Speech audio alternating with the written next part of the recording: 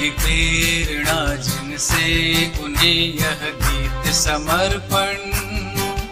मिली सांत्वना जिनसे हृदय से करती नमन। मिली प्रेरणा जिनसे उन्हें यह गीत समर्पण। मिली सांत्वना जिनसे हृदय से